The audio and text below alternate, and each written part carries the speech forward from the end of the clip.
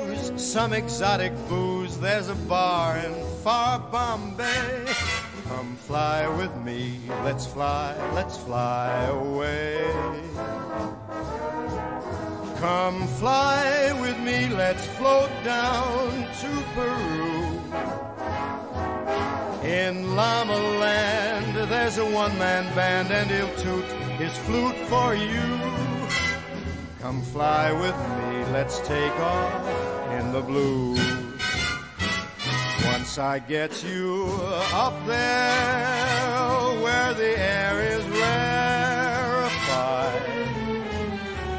We'll just fly starry-eyed. Once I get you up there, I'll be holding you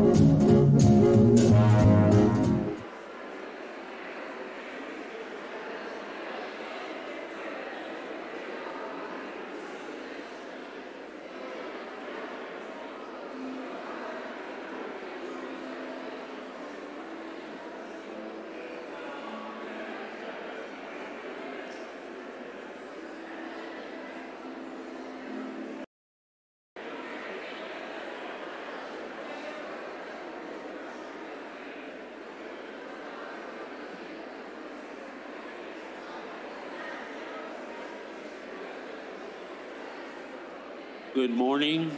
Good morning. Father Michael is about to begin. Would you please take your seats?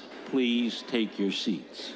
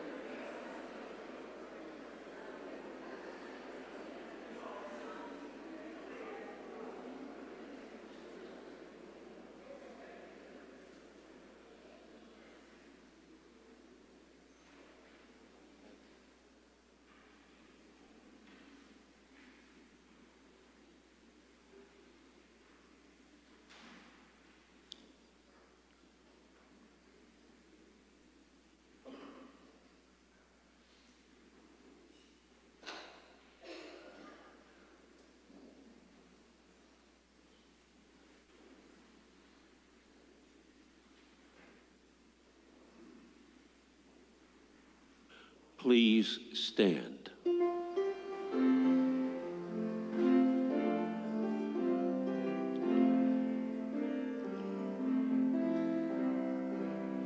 I, the Lord of sea and sky, I have heard my people cry, all who dwell in dark and sin, my hand will save.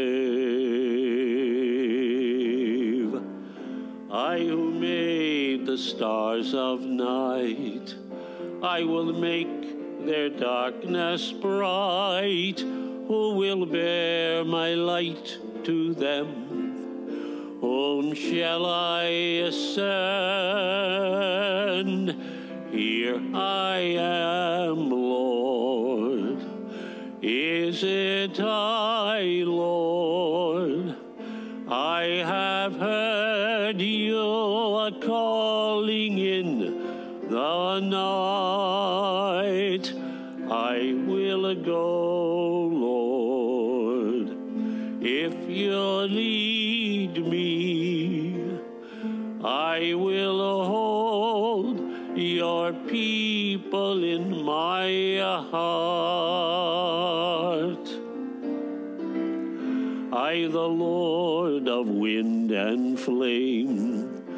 I will tend the poor and lame. I will set a feast for them.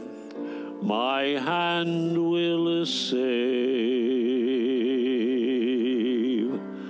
Finest bread I will provide till their hearts be satisfied. I will give my life to them.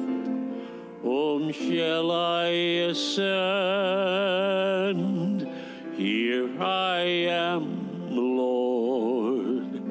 Is it I, Lord? I have heard you calling in the night. I will go, Lord, if you lead I will hold your people in my heart.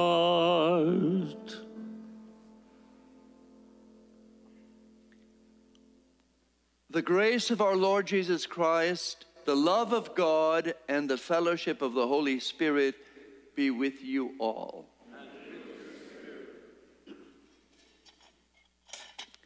In the waters of baptism, Bernie died with Christ and rose with him to new life.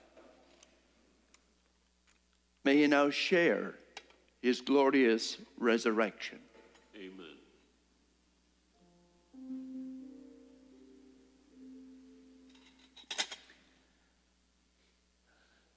Good morning, everyone. Good morning, Father. Welcome to you all, but welcome in a special way to his dear, dear family. Uh, welcome to you, Anne. Welcome to the girls. Welcome to Barbara, Joan, and Lynn. Welcome to the boys, Dan, and Bill, and Tom. Welcome to the 19 grandchildren. Welcome to the three great grandchildren. We won't mention them all by name, we'll be here till tomorrow. Welcome to our priests. Uh, we all know Father James, Father Donald, Father Gerald, our Capuchins. We have a new Capuchin with us visiting today, uh, Father Josen from our, our, Indian province, and Father Michael J. Healy, uh, the retired pastor of many places, but of St. Bart's most recently, and now resting comfortably in San Francisco. So, uh, welcome to you all for this wonderful, wonderful man, Bernie Cotter. Look at him with his hat on and his Heineken in his hand. That's all he ever wanted, that Heineken. And so, brothers and sisters, we come to celebrate him to give thanks to God for, for 90 years of life. What a wonderful man, what a wonderful life. He loved the Eucharist, he loved the Mass. He had a spot there every Sunday in the front pew. Um, today, he's with us from a different place, but with us truly. And so we pray, let us pray.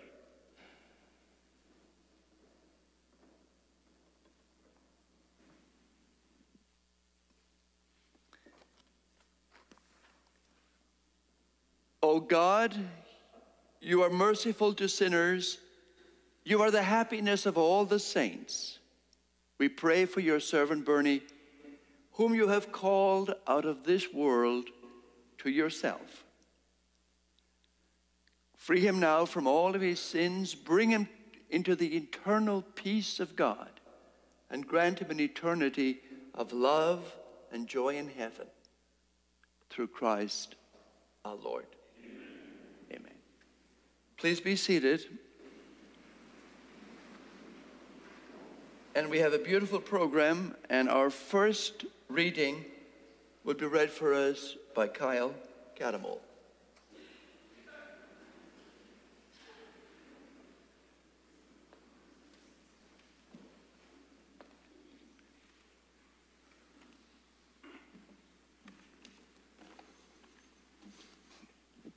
A reading from Ecclesiastes book 3, verse 1 through 8. To everything there is a season, and a time to every purpose under the heaven a time to be born, and a time to die, a time to plant, and a time to pluck up that which is planted, a time to kill, and a time to heal, a time to break down, and a time to build up, a time to weep, and a time to laugh, a time to mourn, and a time to dance.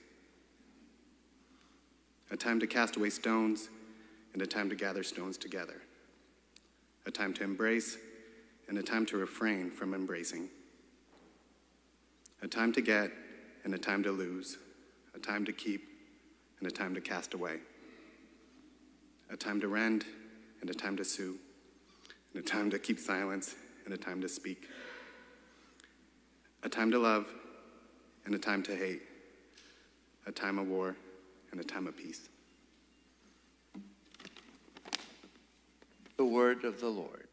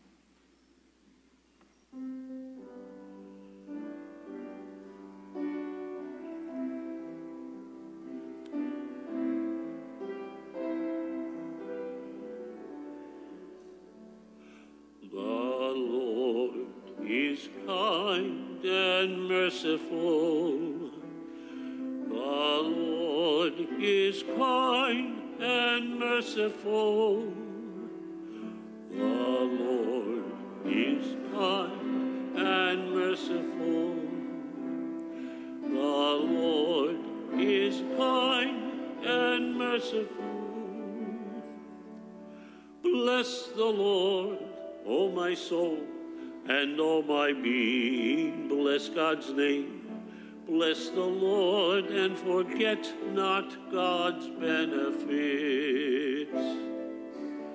The Lord is kind and merciful. The Lord is kind and merciful. God pardons all your iniquities and comforts your sorrows redeems your life from destruction and crowns you with kindness. The Lord is kind and merciful. The Lord is kind and merciful. Merciful, merciful and gracious is our God, slow to anger, abounding in kindness. The Lord is kind and merciful. The Lord is kind and merciful.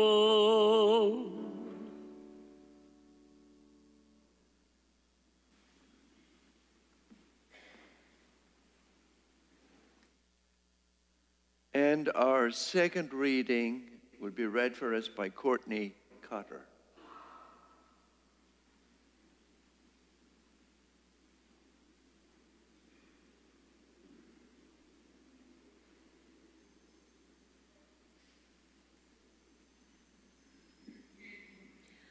A reading from the letter of St. Paul to the Romans. Brothers and sisters, no one lives for oneself, and no one dies for oneself. For if we live, we live for the Lord, and if we die, we die for the Lord. So then, whether we live or die, we are the Lord's.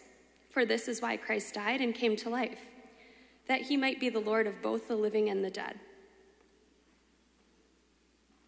The word of the Lord.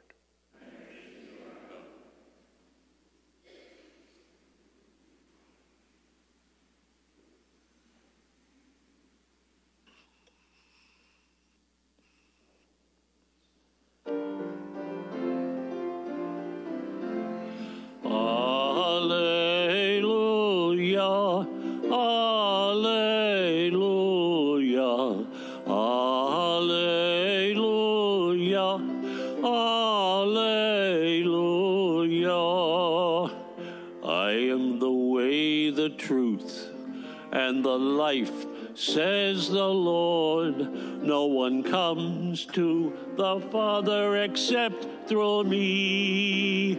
Alleluia, Alleluia,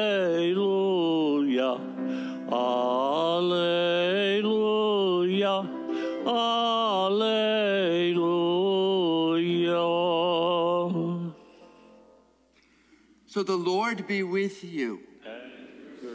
A reading from the Holy Gospel according to St. John. Glory to you, O Lord. Jesus said to his disciples, Do not let your hearts be troubled. You have faith in God. Have faith also in me. In my Father's house there are many dwelling places.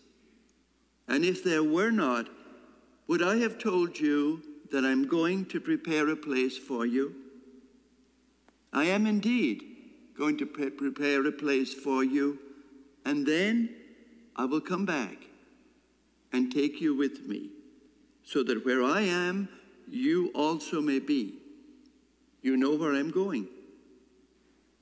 And Thomas said, Master, we don't know where you're going. How can we know the way? And Jesus said, I am the way and the truth and the life. No one can come to the Father except through me. The gospel of the Lord.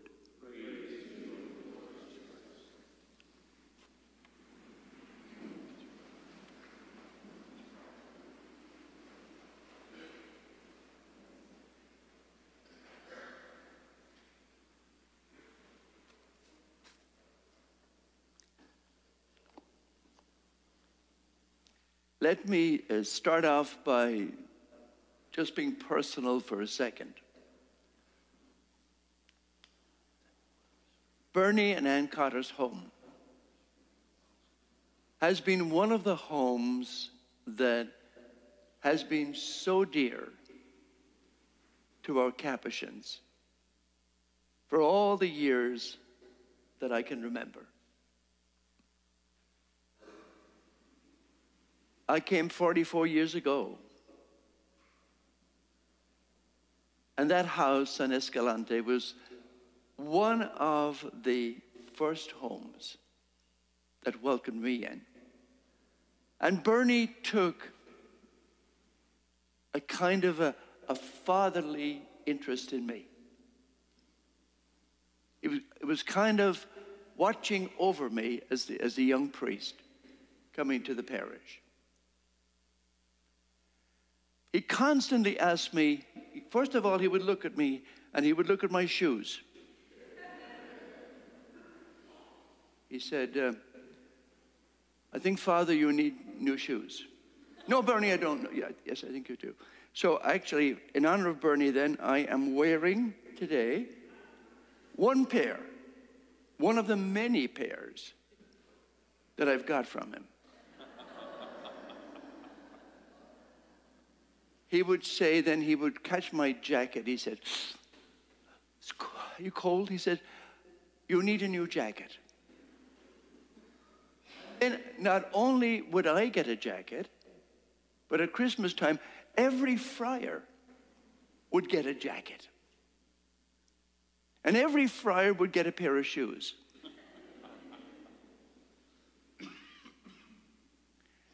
And that just was so typical of the goodness and the fatherliness of that man. He loved everything Irish.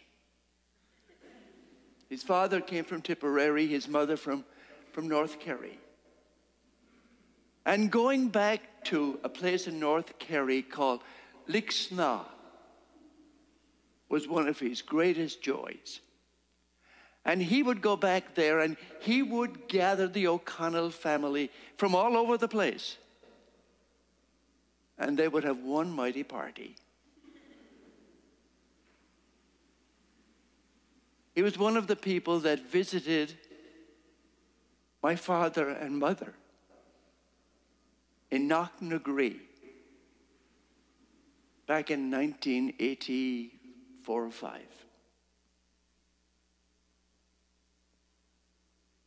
And to this day, he would talk about them.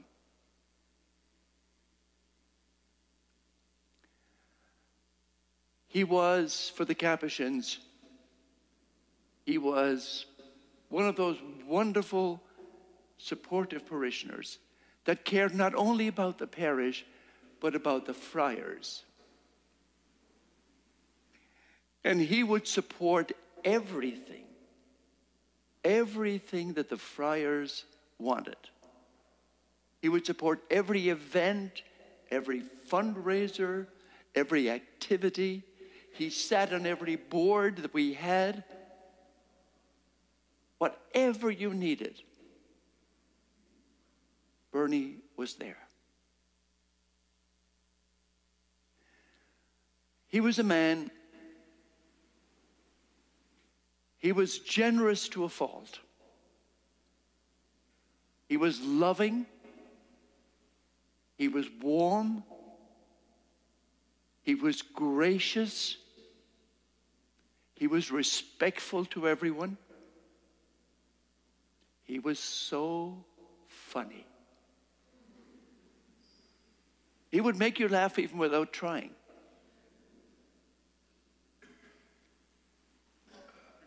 Our parish has been enriched by Bernie for so many years.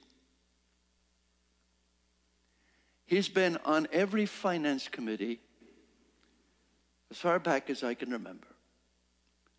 And one of the funny things that made me laugh is when I read his obit and all of the wonderful accolades that he has received in his legal life, especially as a mediator. There was nobody could disturb a meeting more than Bernie. he was always the secretary. He would come with the briefcase. And he, as the meeting was going on, he would be going back over minutes and minutes and minutes of meetings 20 years ago. And he would bring up this obscure point of where, well, we told the Archdiocese in 1982 that we were not going to do that.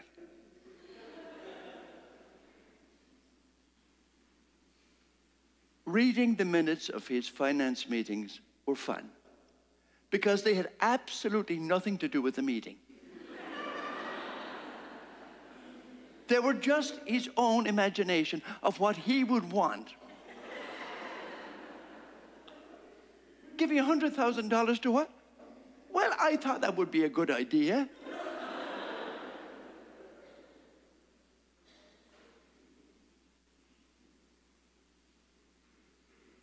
he was a prince. Our men's club loved Bernie. Bernie always had a joke. We're not certainly going to tell any of those jokes. no way. But the men absolutely looked forward to it. And so, as the dinner uh, would wear on,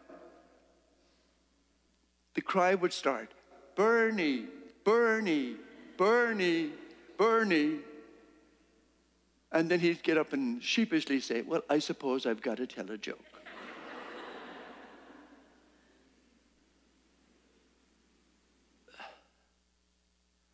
it's hard to say goodbye to such a wonderful man who was one of those pillars of our church. He just loved his family, he loved his faith, and he loved his work. And I know the family will talk today about him and but he was he was the leader. He was leading the trail. He was out there halfway up the mountain and the rest were following. He was everywhere. He loved his family. He loved when the grandchildren would come around, and he loved to see you guys succeed and do well in school and in colleges. And he would, without boasting, he would love to talk about his children and his grandchildren. And then his little great grandchildren. So, what a wonderful life. He has no regrets. Whatever he did, he did out of principle. He was a man of principle. He was loyal, loyal to the core, and faithful to everything he stood for. But there comes a time for everyone. He had his day, he had his moment on the stage of life, and he certainly made the best of it. His wonderful, wonderful personal integrity everything he had learned from his mom and dad, he passed on to his family. He and Anne were peas in a pod.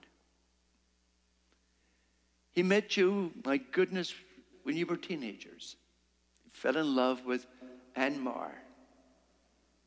And they danced through life together. Family, wonderful years. And it will be hard for you, Anne, and you're going to miss this wonderful companion.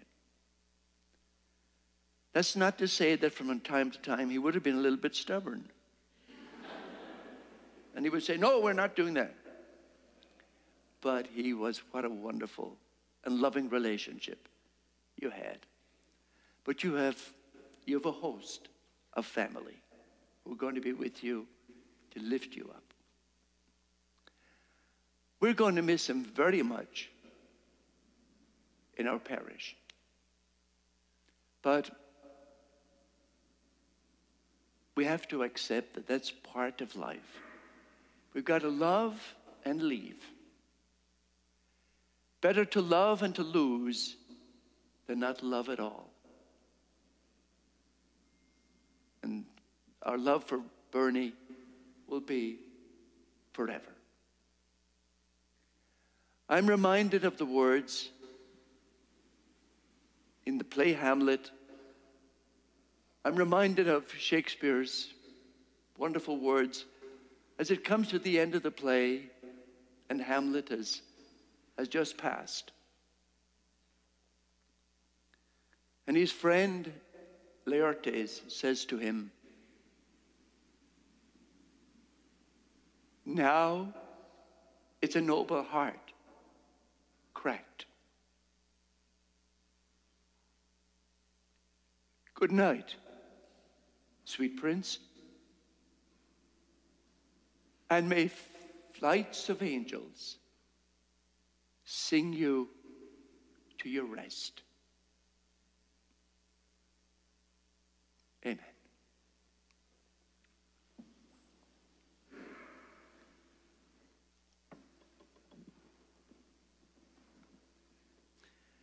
Now, please stand.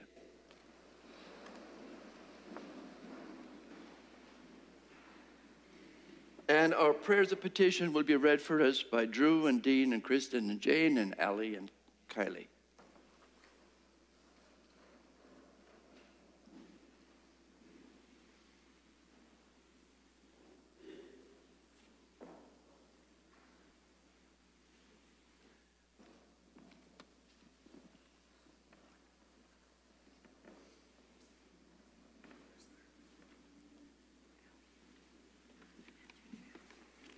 And so now, with, with great, great gratitude in our hearts for the life of Bernie, with, with prayer for his eternal rest, and with prayers for his family who grieve, we now turn to the Lord.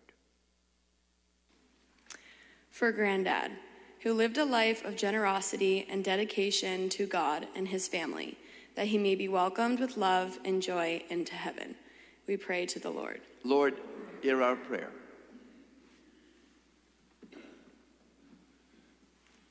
For Bernie's fam, friends and family, may we, we be comforted in our grief and follow the example of faith, charity, and humor set by my granddad. We pray to the Lord. Lord, Lord hear, hear our prayer. prayer. For our grandma, that she may be blessed with courage, strength, and peace during this difficult time, while treasuring the 70 beautiful years she shared with our granddad. We pray to the Lord. Lord, hear our prayer. For the people who have gone before us, especially Bernie's mom, Molly, dad, Tom, and two younger brothers, Tom and Kevin. May they all be reunited in heaven's trails and pubs. We pray to the Lord. Lord, hear our prayer. For the OLA community, Capuchin priests, and especially Father Michael, that you continue to spread the word of God while fostering the incredible community that our granddad cherished so much. We pray to the Lord. Lord, hear our prayer.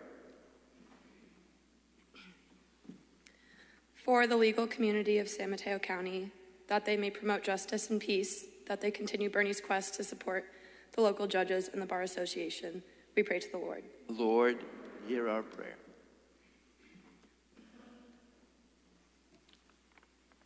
And we put all of these beautiful prayers of the family before you, O Lord, in memory of Bernie, asking through the intercession of all the angels and saints that all of our needs and all of our petitions may be given to us.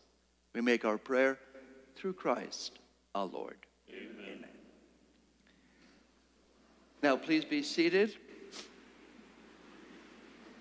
And as the uh, offertory uh, song will be sung, uh, the gifts will be brought to the altar uh, by Eric and Nat- uh, Natalie and Danny and Will.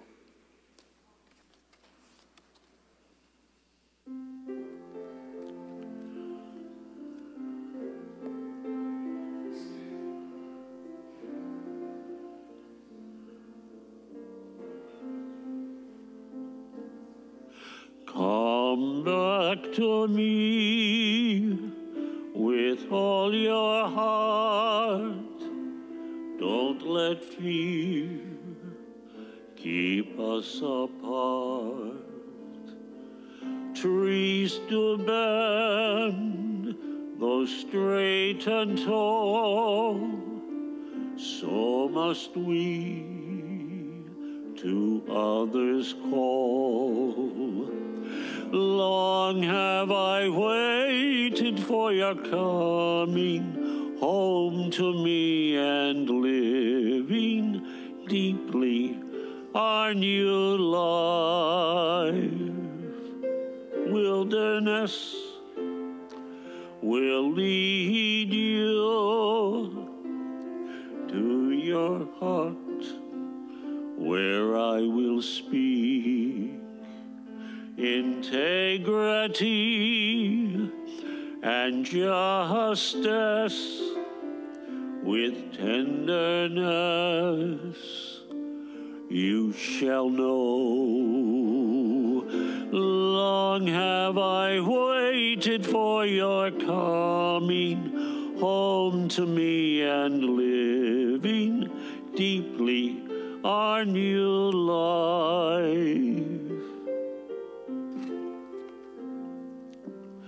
You shall sleep secure with peace.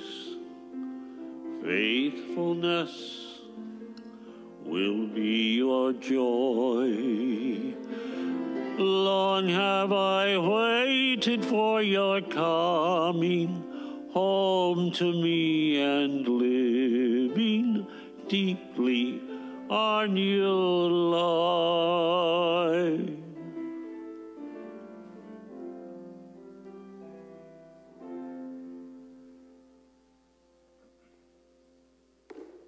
And so pray, brothers and sisters, that my sacrifice and yours may be acceptable to God the Almighty Father.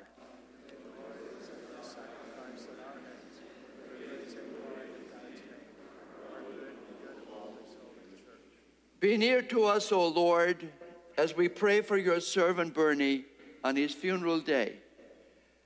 And we offer you this sacrifice of conciliation so that should any stain of sin have clung to him, it may by the mercy of God be wiped away and, he, and as a loving gift that he may be offered to you through Christ our Lord.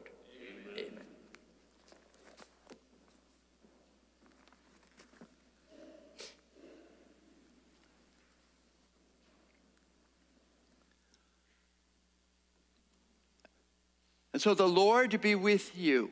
And with your spirit. Lift up your hearts. We lift them up to the Lord. Let us give thanks to the Lord our God. It is right and just. It is truly right and just, our duty and our salvation, always and everywhere, to give you thanks, Lord.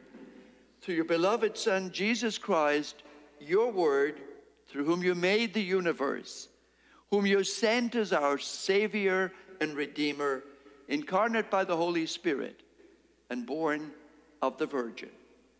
Fulfilling your will and gaining for you a holy people, he stretched out his hands as he endured his passion, so as to break the bonds of death and manifest the resurrection.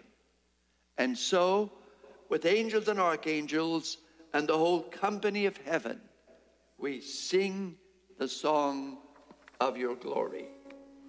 Holy, holy, holy, Lord God of hosts, heaven and earth are full of your glory. Hosanna, Hosanna in the highest. Blessed is he who comes in the name of the Lord. Hosanna, Hosanna in the highest. Now, please kneel or be seated. You are indeed holy, O Lord, the fount of all holiness. Make holy, therefore, these gifts, we pray, by sending down your Spirit upon them, like the dew fall, so that they may become for us the body and blood of our Lord Jesus Christ.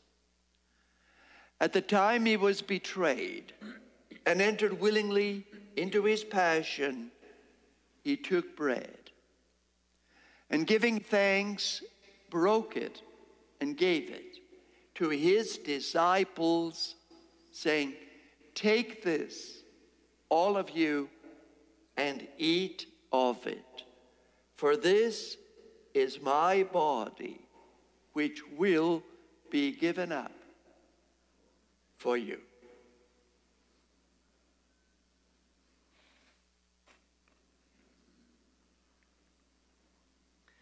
In a similar way, when supper was ended, he took the chalice. And once more, giving thanks, he gave it to his disciples, saying, Take this, all of you, and drink from it. For this is the chalice of my blood, the blood of the new and eternal covenant which will be poured out for you and for many for the forgiveness of sins.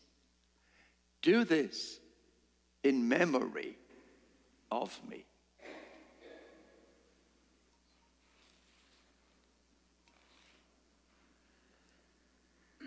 The mystery of faith.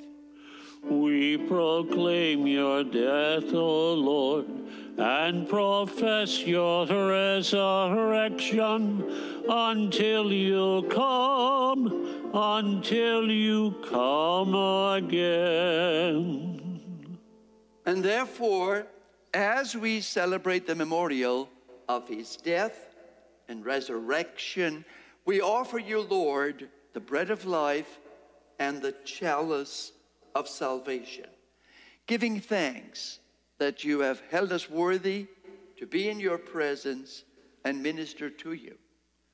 Humbly we pray that partaking of the body and blood of Christ, we may be gathered into one by the Holy Spirit. Remember, Lord, your church spread throughout the world and bring her to the fullness of charity, together with Francis, our Pope, Salvatore, our Bishop, and all the clergy. Remember your servant Bernie, whom you have called from this world to yourself. Grant that he who was united with your Son in a death like his may be also one in his resurrection.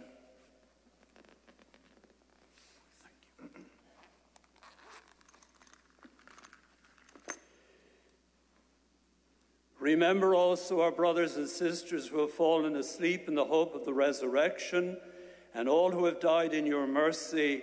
Welcome them into the light of your face. Have mercy on us all, we pray, that with the Blessed Virgin Mary, Mother of God, with blessed Joseph, her spouse, with the blessed apostles and all the saints who have pleased you throughout the ages, we may merit to be co heirs to eternal life and may praise and glorify you through your Son, Jesus Christ.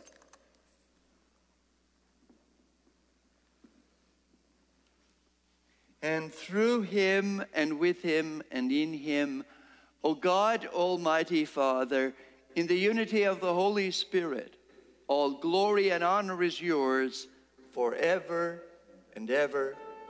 Amen. Amen. Amen. Now let us stand and let us pray in the words that Jesus, our Savior, gave to us. Our Father, who art in heaven, hallowed be thy name. Thy kingdom come, thy will be done, on earth as it is in heaven. Give us this day our daily bread, and forgive us our trespasses as we forgive those who trespass against us. And lead us not into temptation, but deliver us from evil. Deliver us, Lord, we pray, from every evil, and graciously grant peace in our days, that by the help of your mercy we may be always free from sin and safe from all distress as we await the blessed hope and the coming of our Savior, Jesus Christ. Lord Jesus Christ, who said to your apostles, Peace I leave you, my peace I give you. Look not on our sins, but on the faith of your church, and graciously grant her peace and unity in accordance with your will, who live and reign forever and ever. Amen. Amen. So the peace of the Lord be with you always. And with your spirit. And we invite you now to turn to each other, to share with each other the peace of Christ. Peace be with you. Is Brian?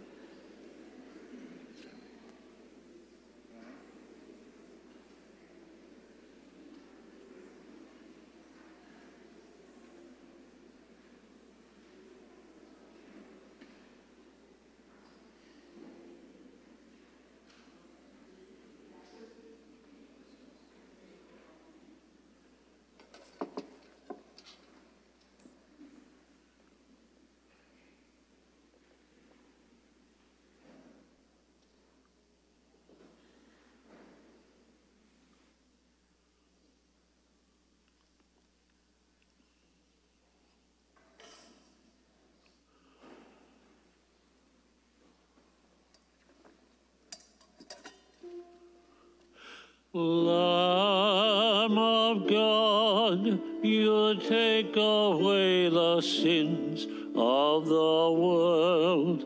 Have mercy on us. Lamb of God, you take away the sins of the world. Have mercy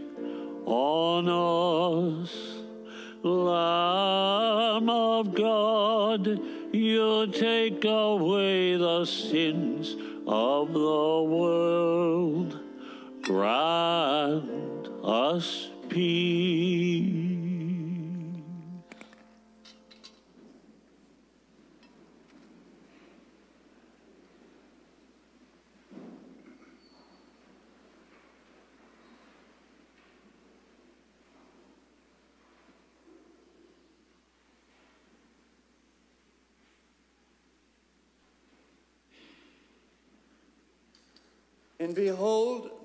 Of God. Behold him who takes away the sins of the world. Blessed are those who are called to the supper of the Lamb. Lord, I am not worthy that you should enter under my roof, but only say the word, and my soul shall be healed.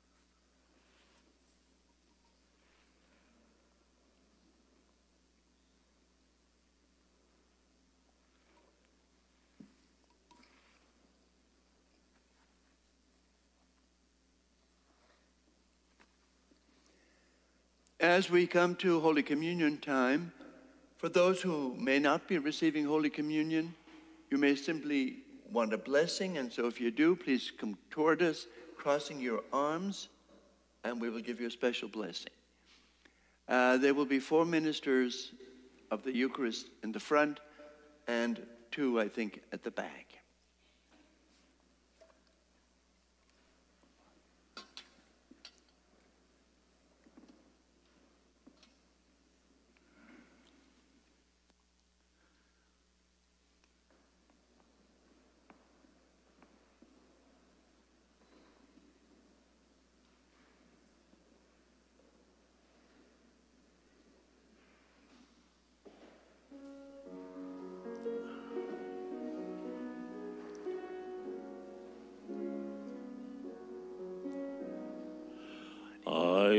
The bread of life.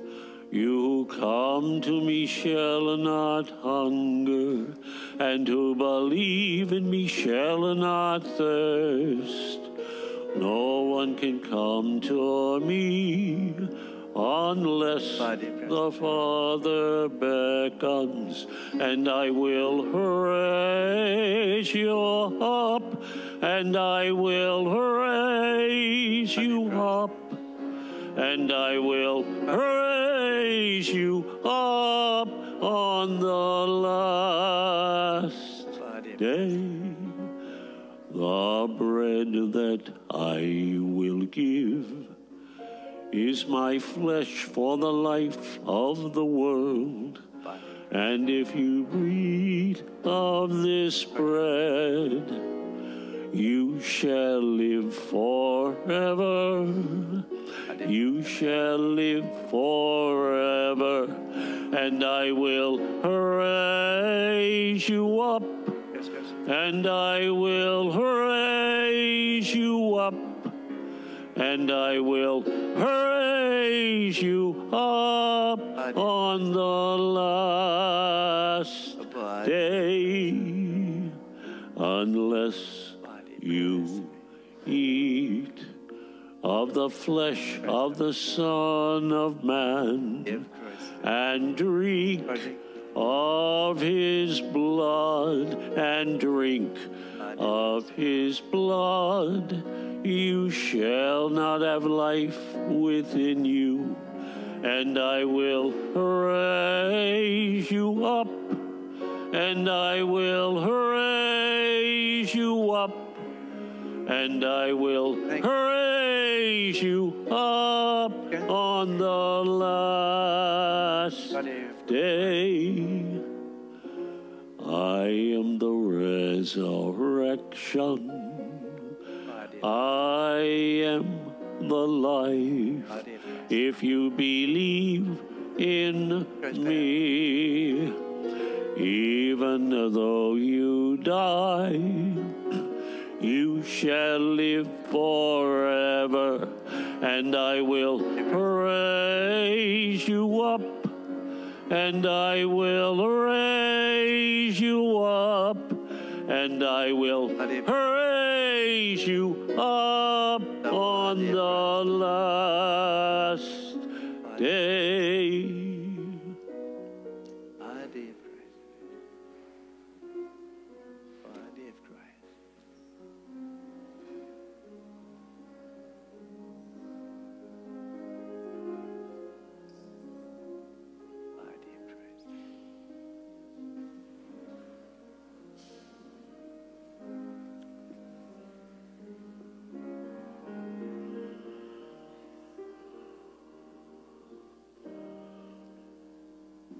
Danny boy, the pipes, the pipes are calling from glen to glen and down the mountainside. The summer's gone and all the roses falling. Tis you, tis you, must go and I must bide. And I shall hear the soft yet tread above me. and all my grave will warmer, sweeter be. For you will and and tell me that you love me, and I shall sleep in peace until you come to me.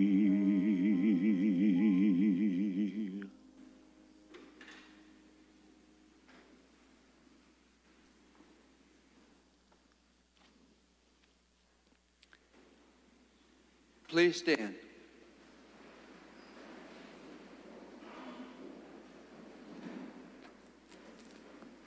So let us pray. Be near, O Lord, we pray, as we pray for our dear brother, Bernie. Grant him now an eternity of love and peace in your kingdom, free from all sin and in, in God's presence forever, through Christ our Lord. Amen. Amen. So now please be seated, and we have a number of uh, eulogies. First of all, Bill Nagel will start, and then the family will follow.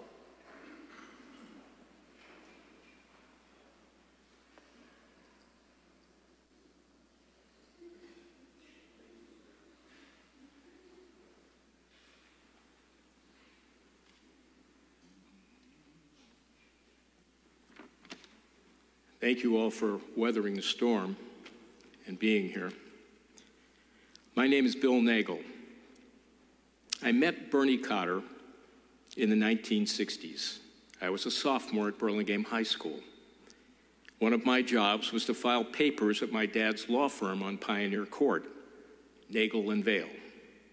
My dad, William Nagel Jr., had just hired two good, young, experienced lawyers, Will McDowell and Bernie Cotter. He considered them to be the type of people that had a good moral compass and family values, the values he believed in. When I met Mr. Cotter, he was very nice and polite, and on the weekends and after school, when I would do my filing, he was always very kind to me. For the first 10 years or so after I met him, I always addressed him as Mr. Cotter. Little did I know when I met him that Mr. Cotter would become my teacher, mentor, friend, and godfather. Now, for some background, my dad was one of those bigger than life, dynamic characters who dominate the landscape. He'd been a P 51 fighter pilot. There was nothing he couldn't do. He was president of the San Mateo County Bar Association in 1958 and changed it from a drinking club to a business. He started the Legal Aid Society, the Lawyer Referral Service. He coached our sports. He started a scout troop, Troop 6. He was president of the Far West Ski Association, president of the United States Ski Association, and an internationally honored trial lawyer. I don't think he ever slept. But of all these accomplishments, he considered his marriage to my mother and the raising of his five children as his greatest accomplishment. So it was a great shock to the community when in 1970, with one of my brothers, he died in a plane crash. My brother was 16, my dad was 44. It was after this tragedy that Mr. Cotter became Bernie Cotter in my life. I was in college when my dad died.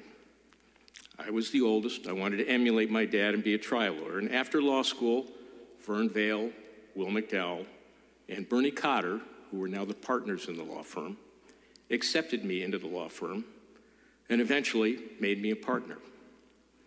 Years later, when it was time for me to leave that law firm nest and start my own firm, Bernie provided the encouragement, the guidance, the solace, and quite frankly, the sanity checks that I needed. Now, we all know that Bernie was a kind, thoughtful, patient, and generous person. Father Michael has demonstrated that with his shoes. We know he was a good judge of character. He had the sense to marry Anne. And we know he had a wonderful family that have raised, as you've heard, six children, 19 grandchildren, and three great grandchildren. Many of you know the contributions he made to the parish, both in front of and behind the scenes. Father Michael has alluded to some of those good works, to Bernie's strong religious beliefs and his timeless efforts in support of this parish, OLA. In the law office, we would occasionally refer to Bernie as Father Timothy. Many of you have witnessed his generosity and thoughtfulness, but I'll always remember at Halloween when I took my seven year old son up the hill to Bernie and, Annie, Bernie and, Annie's, and Ann's house and to trick or treat. And I just assumed that they would have some candy for him. But Bernie ushered him in and he took us into his bedroom, took us to his chest of drawers, took the top of the chest of drawers, opened it, picked Patrick up, and had Patrick take out Bernie's Swiss Army knife. My son is 46, and he still uses that Swiss Army knife. Many of you may not know how years ago he helped a young woman who'd been his babysitter to the Cotter children. She aspired to a career in politics, and while working for a congressman, she had nearly lost her life on a tarmac in Guyana. She survived, and after many, many painful medical procedures, decided to run for the County Board of Supervisors. Bernie encouraged and, insist, and, and assisted her, and I remember being instructed by Bernie to take her picture in our law library for her campaign posters. She was elected. Eventually, she rose to hold some of the highest political offices in the state and nation. She tried to arrange her schedule to be here today, but with all of the problems with the airlines, I don't believe she's here. But I know she wanted to pay her respects. And you know her as the Honorable Jackie Speier. Many of you know Bernie was a lawyer, but I wonder how many of you know how revered and honored he was as a lawyer. Before a law became a business in the mid 1980s, it was a profession. And Bernie was a consummate professional. He was a skilled trial lawyer. And in that day and age, he routinely tried cases before juries, men and women of the community, his peers. He breathed rarefied air as a trial lawyer. And here are just a sample of some of the awards, honors, and accolades he's received. His peers and judges honored him with an AV preeminent Martindale Hubbell rating, attained by less than 5% of the nationwide lawyers. He held legend status in the American Board of Trial Advocates. He received the George Corey Trial Lawyer of the Year Award from the San Mateo County Trial Lawyers Association. He received the Lifetime Achievement Award from the San Mateo County Bar Association. And among his many, many awards, honors, accolades, the one that was dearest to my heart was the William Nagel Jr. Award, named after my dad, for innovation and professionalism. But being at the top of his legal profession wasn't enough. Bernie was known, regaled, and respected for his sense of fairness, his evaluation skills, and his temperament. He served as a judge pro tem an arbitrator, and a mediator. He took great pride in being a wordsmith. He would sit in his office and he would polish words and sentences and phrases. And he would use them in his moving and responding papers, his briefs, his opening statements, and particularly his final arguments.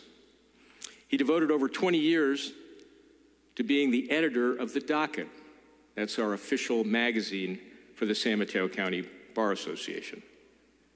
And before that, and during the time he was editor, he wrote an article in every edition on trails and hiking in the Bay Area. He wrote it under the nom de plume of Siep Lamet, Tamalpais backwards. I want to share a few examples of Bernie's humor. Father Michael's shared a few, but there was a highly publicized case in Santa Clara County Bernie was trying. We got word that after a long trial, uh, he had obtained a defense verdict and was very happy that was coming home. But we also heard that we should be on the alert that the plaintiff, who was sort of a nutball, uh, had gotten up at the end of the reading of the verdict and threatened Bernie's life. Cotter, I'll kill you. It took about an hour for Bernie to get back to the office from San Jose in those days. And outside my office, I heard a, noise. Now, we had doors that had brass plates on them Mr. Vale, Mr. Cotter, Mr. Nagel, Mr. McDowell. It sounded to me like my plate was being unscrewed. Sure enough, after about 10 minutes, I went out and looked, looked at my door. My door, the brass plate no longer said Mr. Nagel, it said Mr. Cotter.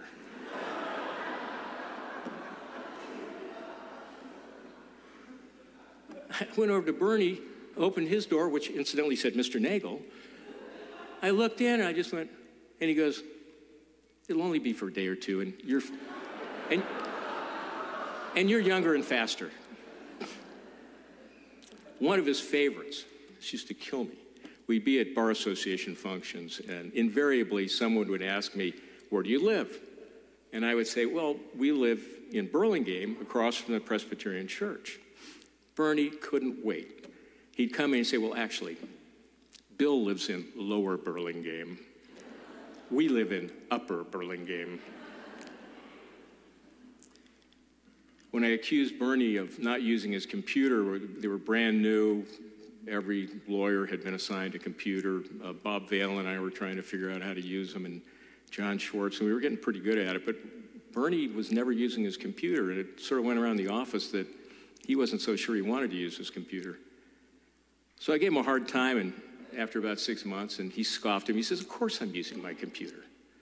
And he took me into his office, and sure enough, there on his computer screen, by the way, the computer was off, there on his computer screen was his trial schedule, which was on a piece of paper, taped to the screen.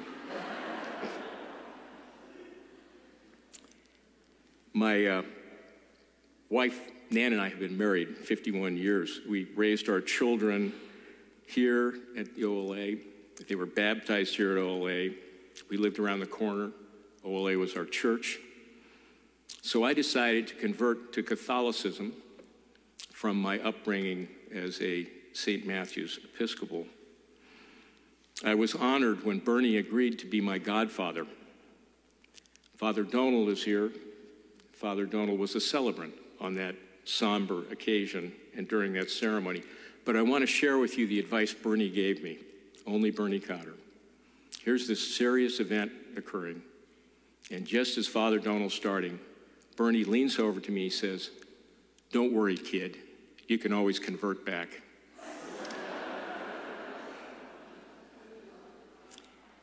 As you can imagine, I have many, many memories of Bernie, and I'd love to share more of them with you uh, after the services today.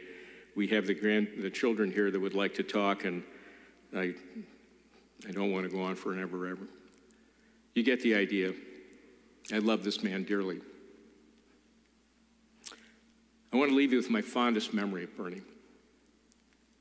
It was an observation and a comment my wife made years ago. After a morning service here at Our Lady of Angels, we were waiting outside with our young children. We watched Bernie and Ann exit the church and come down the stairs. And I vividly remember this. It's like watching one of the great scenes in uh, It's a Wonderful Life. My wife pulled on my sleeve as Bernie walked down, and she said, Bernie Cotter is a saintly man. And he was.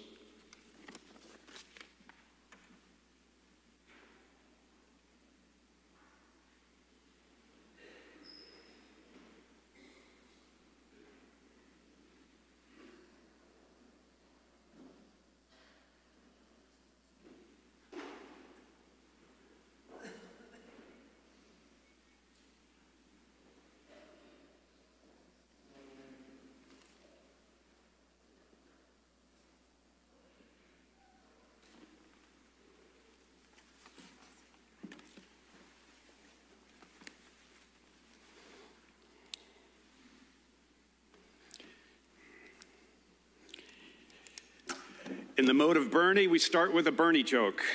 It's a clean joke, the only one in his playbook. It's a short joke.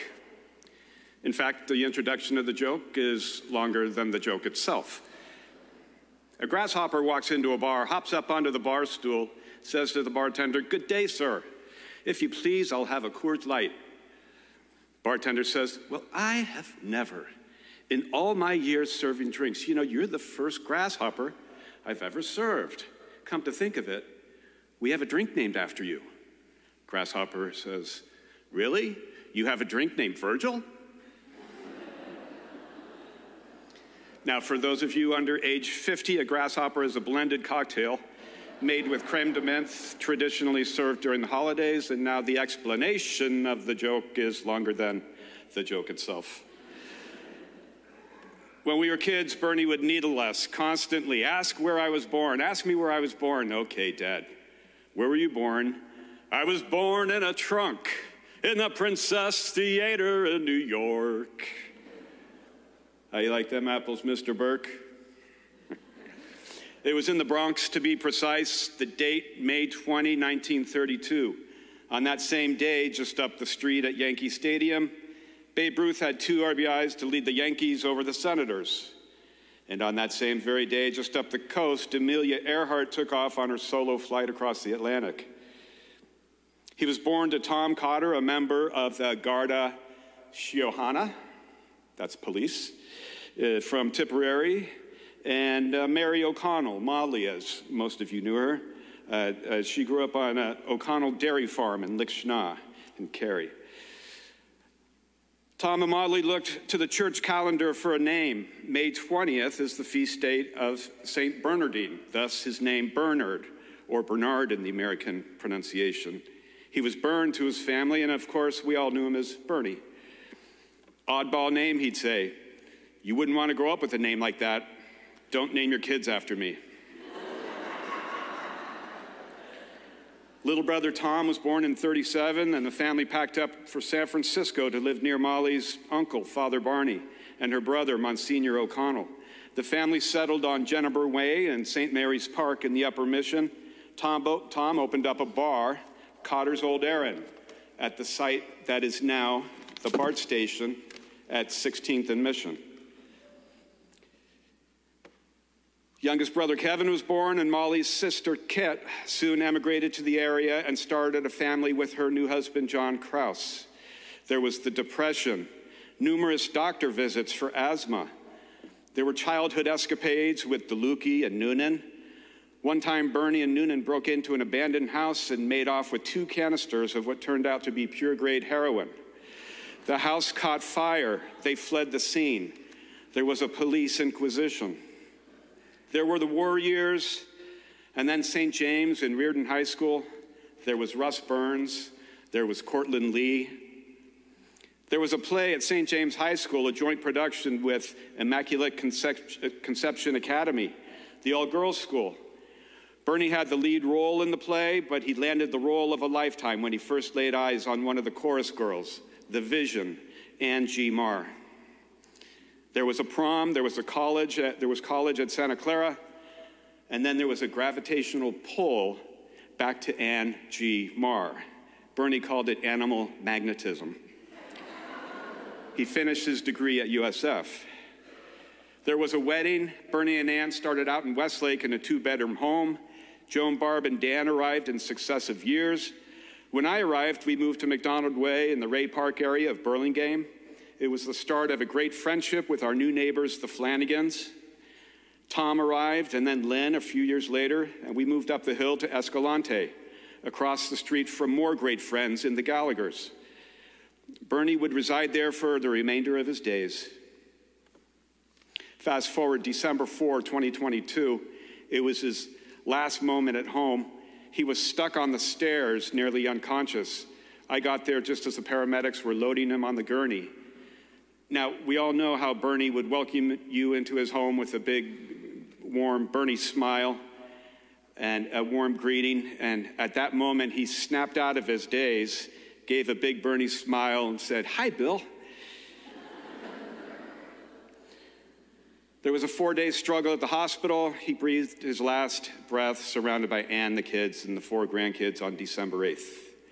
So there you have it. That's the beginning, that's the end, and here's the middle.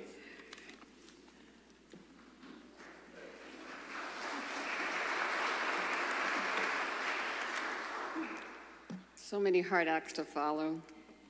What a joy it is to see everyone here. You know, what I think about Bernie, I think uh, how he loved to captivate a room. What a room this is.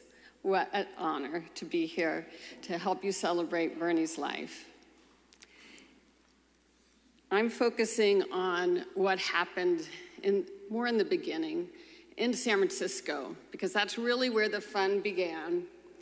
And it lasted during all the time that we were growing up. We would be piled into the car and run into the city and have parties at our grandparents' house with our cousins, Kenny and Michelle. And the parties there were like going to a foreign country. The accordion would come out, people would dance the jig. There were Irish songs, there were Irish accents, tura, lura, lura, words we didn't understand. We just knew that it was fun, it was different, and we knew that our grandparents came from a different country and they were special and they were exotic. And we loved the accordion. And you know, I don't think dad ever learned the accordion, but he loved his Irish roots. And he never forgot he was the son of immigrants and he was first generation. And it humbled him. And he would say, I'm just a, I'm just, even after all these accolades and after all these years, he'd tell us, I'm just a kid from the mission. And the mission of those days is not the mission we have now with the restaurants, Silicon Valley, and the high rents. It was a rough and tumble mission. And he was a kid from the mission. And that was his pride and joy his roots in the mission and his roots in Ireland. And when I look back, I suppose that at some point I saw my dad's footsteps, and I wasn't certain whether I was going to follow those footsteps. Maybe I was too much of a rebel. But over the years, those footsteps and the path he laid out for us was just so compelling and so inspiring that I couldn't ignore them.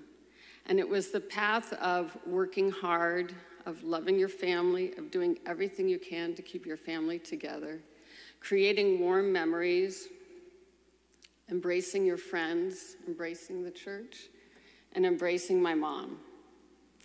And that's the footsteps he laid down for us. And those formative years in the city as the children of immigrants formed him, and I think they formed all of us and his 19 grandchildren. And we're so fortunate that we had such a father to inspire us, and we celebrate him today. And we thank you so much for being here and celebrating with us.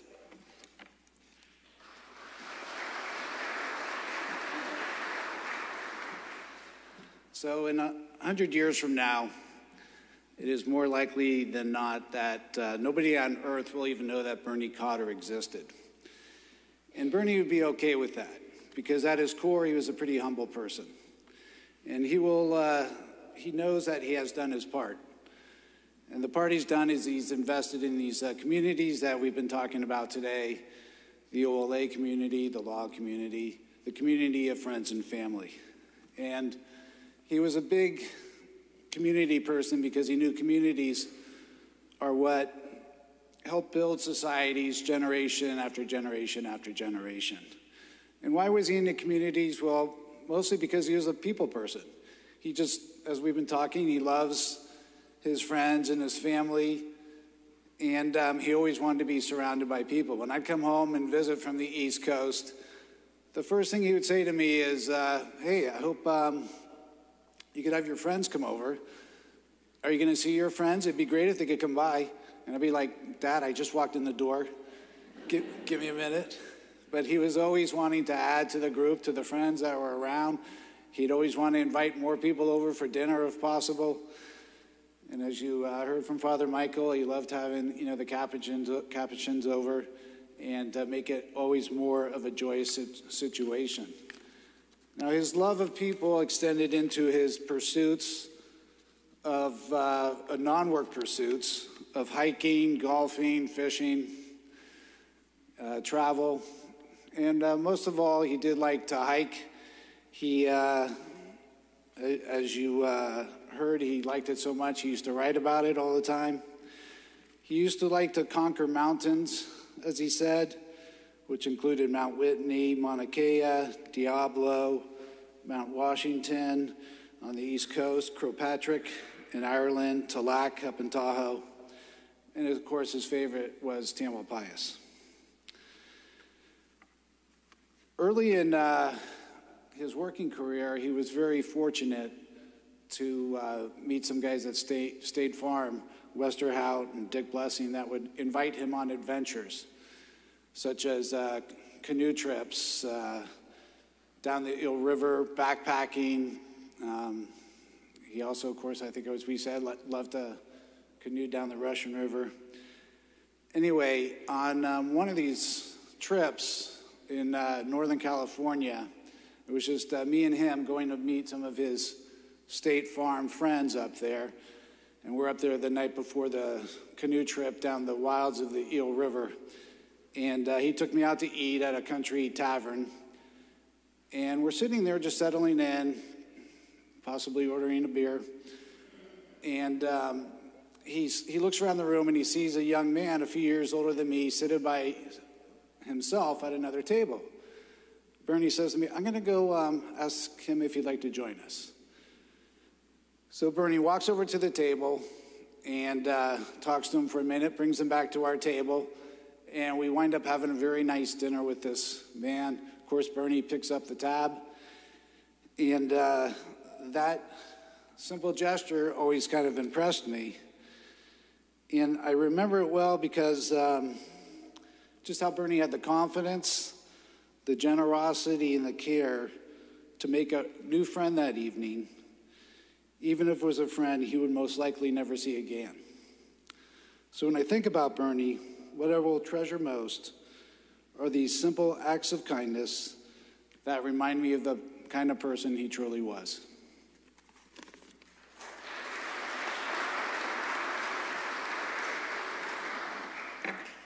Family. Dad was big on family. We grew up with lots of family parties, family outings, and dinners around the table. They, mom and dad did like to go out a lot, though, and they had many friends, and we were blessed with so many friends that I couldn't mention them, but they were brilliant in hiring Jackie Speier as our babysitter back on McDonald Way. Once a year, there were two week vacations to Russian River, Pine Grove and Lake County, and finally Tahoe. It wasn't easy to leave, though. The house had to be scrubbed and spotless before we loaded up into a Ford Country Squire station wagon without seatbelts. Then, for some reason, we had to circle the block twice to deter the robbers. Dad filmed most of this for posterity on an old 36 millimeter camera. He liked to be to the director. One of his favorite things was the crazy walk. Each one of us had to cross the picture frame acting like a monster or an animal or a crazy person. He loved that. He loved to embarrass us, too. If a boy ever dared to call the kitchen phone that was attached to the wall, he would shout, It's a boy! You better come quick before he hangs up. On hikes, he would ask random hikers, How do I get to the nudie beach? Where dad really shined, though, was with the grandkids. He is known by all 19 for check the trunk. He would pull up with a car trunk full of toys the lucky grandkids got to make the trip outside to the back of the car and pick out a gift. He had a great sense of humor. He loved to put on a gorilla mask and scare them. when they babysat, Dad would give the kids one swear word they could use for the day out of their parents' presence. We never knew about that. He'd also give them yes days. Yes, you can have ice cream for breakfast. Yes, you can watch TV. Dad instilled family values and the goal of education, preferably law school, preferably close by, preferably Catholic, and preferably Santa Clara.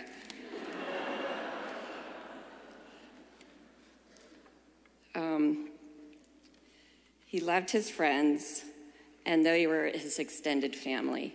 We grew up with the childhood names as though they were the litany of saints. Um, some of their names have already been mentioned. Finally, he was a great role model and loving mom, and that love created all of our happy families. Thanks, Dad.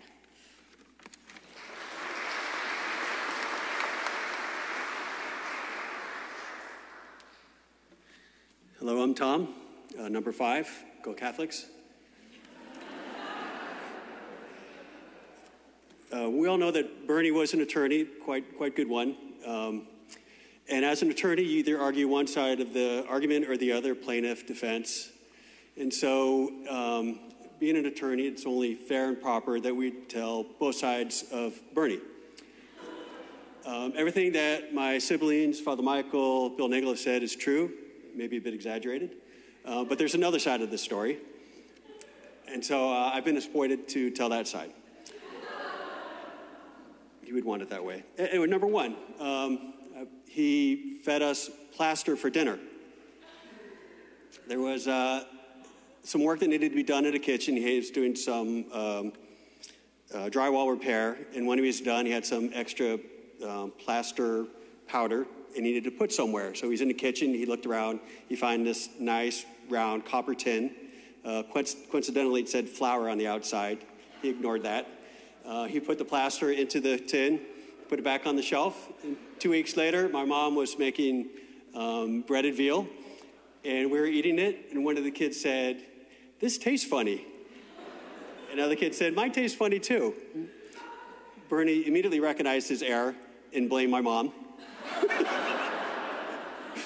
Blake, Blake, and where did you find that flour?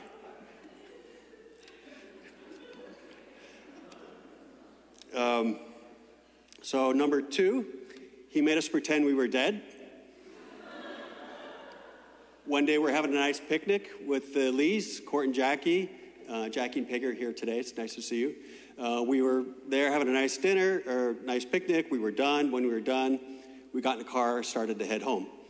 And as we're headed home, uh, we left a couple minutes ahead of the Lees. Bernie pulled over, stopped the car, said, Everybody, get out of the car, lie on the side of the road, and pretend you're dead. And Bernie could be very forceful. We, we didn't know what to do, so we all obeyed him. We didn't have time to stop and say, Dad, maybe this isn't a good idea. This could be dangerous. We all lied down on the side of the road, and Lee's pulled up two minutes later. Um, I'm sure they realized it was a joke, but there must have been a split moment there where they were horrified seeing the Cotter families bailed out on the side of the road. Looking back, I didn't understand at the time, but alcohol may have been involved. It's, a, it's a running theme, as you will see. Um, number three, he fed us alcohol as children. I know that's illegal now. Um, he would come home from work, he gives a hug, that was nice. And then he would um, go into the kitchen with my mom and have a nice drink. And us little kids would surround them and look up and wonder what adults are talking about. And he would take some beer and pour it into little glasses for us. And we would take that beer and say, you know, thank you, more beer, please. and it started a habit which continues to this day, which you'll sadly see at the reception if you can make it, amongst myself, my five siblings, the 19 grandchildren. Hopefully, we'll spare the great grandchildren, stop the cycle. Um, number four, he abandoned us in the wilderness. As we know, Bernie loved hiking, and he would uh, go on a hike every weekend. And before he went on the hike, he would say, Tommy, Billy, Danny, John, Barb, whoever, uh, will you go on this hike with me? And he'd say, if you don't go, you'll regret it when I'm dead. That was a heavy burden to lay on a little kid. And so I went on every single hike that there was. And I, I can look at my dad now and say, Dad, thank you. I have no regrets. But so he'd take us up on the top of the hill, and when we got to the top, he would, me, my friends, my siblings, he'd lie down and take a nap, just go to sleep, leaving us alone at the top of a mountain with nothing to do but chase wild animals, throw rocks at each other, talk to serial killers. Finally, number five, he failed to protect us from bad influences. Um, when I was a little guy hanging out with my buddies in third grade, my gang, uh, one day we st- decided to steal candy from a store. And as we're walking out of the store with our goods, the manager stopped us because we weren't very good at this. And, and uh, he caught us, called our parents, had to face my mom, no problem, wasn't even nervous. then I had to talk to my dad, who was, you know, much more stern looking than you could see on that poster there. And he said, Tommy, maybe when the manager came at you, you should have just run away. I was like, what? Are we a crime family? anyway, later on, um, as we got older, got into college, etc., some of our friends um, got in, themselves into trouble. Again, alcohol was involved. I won't mention which friends because they may or may not be here today. And he went and would defend them at, um, at the courthouse, and he did it pro bono even. And I always wondered why he, he did that. And then it, it dawned on me one day that he was actually protecting my friends from the bad influences, which were me, Billy, Danny, etc. uh, so I, I uh, rest my case. Um, ladies and gentlemen of the jury, I could see I probably have not convinced you, so I'll concede the argument. Dad, it looks like you won your final case. Congratulations. Now I'll bring up my uh, wonderful little sister, Lynn.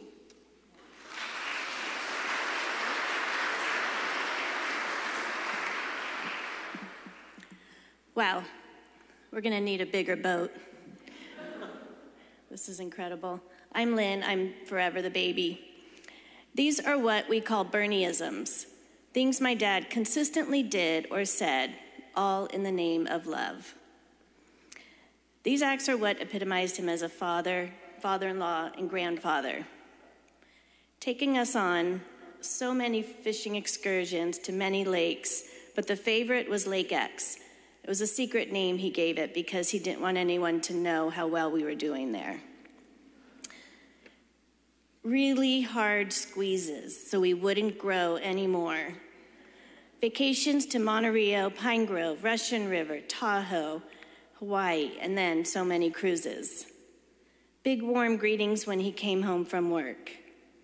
Wearing his gorilla mask while jumping in a pool full of petrified children some were laughing. Writing our college essays, or for that matter, all essays. Buying my mom pretty dresses every Christmas.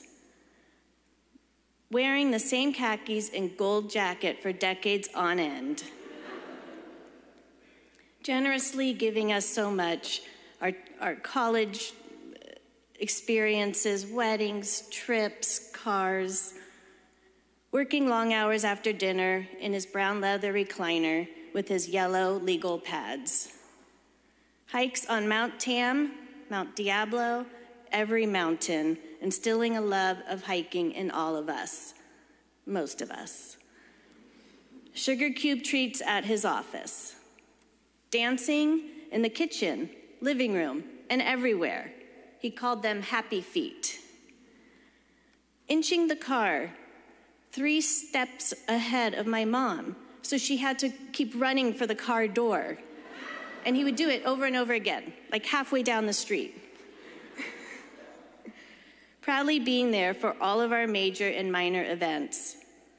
Offering beers to grandkids, starting at around 13, 14 years old. Giving all the new moms in the family jewelry on Mother's Day giving all of us jewelry every Christmas. Many of us are wearing it today. Sending flowers, only if you got into Santa Clara University. Supplying the, all, the whole, all of the Capuchins and all the men in our family jackets, shoes, razors. Now, on to the sayings that echo in our minds. I'm starting with the sassy ones and I'm leaving out some of the words because we're in a church. Blankety blank, you horse's ass. this was never directed towards me. Blankety blank, don't let the milk get in the cracks of the table. Milk was spilled on a nightly basis with six kids. Blankety blank, don't drop the blank brownie crumbs onto the floor. They'll get on your shoes and you'll get them all over the blank house. the cleaner Bernieisms. You've got to laugh at yourself. You don't need to live your whole life in one night. Don't fill up on the bread before dinner. Towards my mom, hubba hubba. he called his grandsons his dirty dozen. He called his granddaughters his seven from heaven. To his grandsons, how you doing, lad? How many girlfriends do you have? To his granddaughters, prettiest face in the whole human race. To all of us, can I take you to dinner? Can I give you a drink? So grateful for all the dinners and drinks we had with him. Thank you so much for being here today. Thank you to all the priests. My dad would be so humbled to have so many priests on the altar. We know he has touched so many lives. We are very proud of him and are so happy to share in the honor of commemorating his wonderful 90 years. Please join us immediately after at Par 3 at Poplar Creek. Parking may be limited, so carpool, Uber, or um, if you need to park in Coyote Point, that's just right there. Just park there and tell them you're going to Par 3 for a, a, a reception. And there will be Heineken. So please, please join us. We'd love to see you all there. Thank you.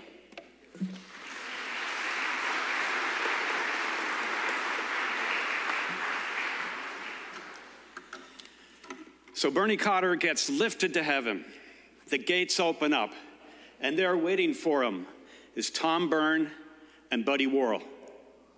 Now, Tom is carrying a cooler full of ice cold Heineken. Buddy is holding three fishing poles. Tom hands Bud, uh, Bernie a beer. Bernie says, Tom, so cold. How, how so cold? There's no ice in the cooler. Tom says, You don't need ice here, Bernie. And when the cooler empties, it magically refills. Bernie turns to Buddy. Buddy, are we going fishing today? Buddy says, hiking, fishing, golfing, whatever you want, Bernie. Bernie says, Man, fishing must be great here. Buddy says, Ah, Bernie, I hate to tell you this, but you should have been here yesterday.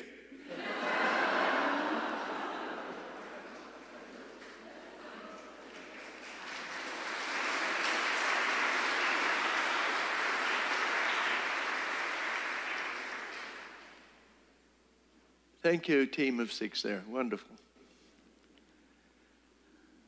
Let's stand now for our final farewell. And so with, we know that we will see our friend Bernie again when we will all be gathered on that final day. So now we will bless the ashes of his body with holy water, which recalls for us the waters of baptism. And then with incense we will lift him up restore him to the fullness of his life in God.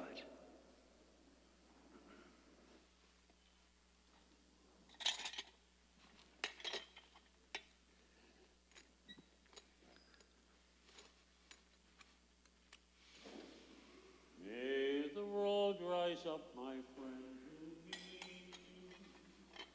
May the wind be ever at your back. May the sun shine warm upon your face.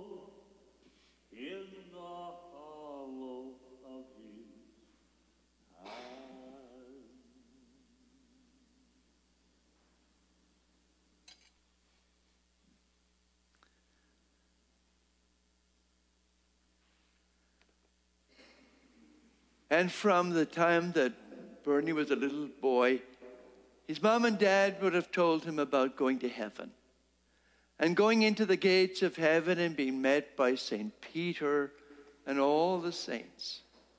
Now we have a beautiful prayer that reflects that moment, and there's a response that I would like you to repeat.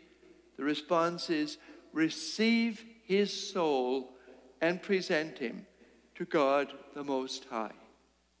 Receive his soul and present him to God the Most High. Saints of God, come to his aid, come to meet him, angels of the Lord. Receive his soul and present him to God the Most High. May Christ, who called you, Bernie, take you to himself. May angels lead you to the side of Abraham. Receive his soul and present him to God the Most High. Eternal rest grant unto him, O Lord, and let perpetual light shine upon him. Receive his soul and present him to God the Most High. And so into your hands, O Heavenly Father, we commend our brother Bernie in the sure and certain hope that together with all who have died in Christ, we will be see him again. We give you thanks for all the blessings that you gave him in this life, his beautiful family. These are all signs of your goodness to us and of our fellowship with the saints. Merciful Lord, listen to our prayer. Open the gates of paradise to our brother Bernie and help us who remain here to comfort and to strengthen each other with the assurance of our faith until we all meet with you and meet with him in your kingdom forever and ever. Amen. Amen. Eternal rest grant unto him, O Lord, and let perpetual light shine upon. And may his soul and the souls of all the faithful departed to the mercy of God rest in peace. Amen. Amen. So thank you all, and please join us now down at Coyote Creek, Coyote Point.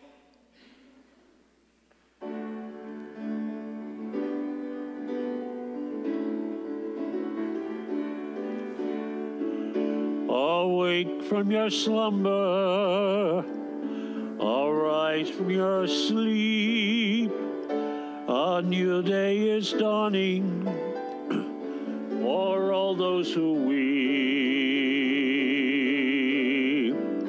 The people in darkness have seen a great light. The Lord of our longing has conquered the night.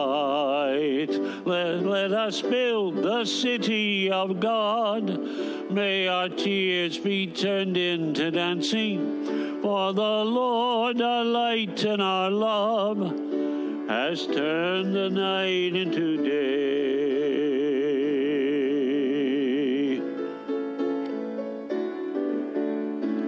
We are sons of the morning. We are daughters of day. The one who has loved us has brightened our way.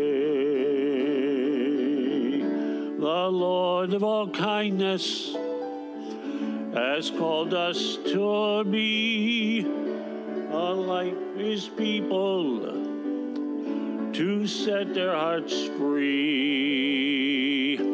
Let us build the city of God. May your tears be turned into dancing. For the Lord, our light and our love, has turned the night into day. Let us build the city of God. May our tears be turned into dancing. For the Lord, our light and our love, has turned the night into day.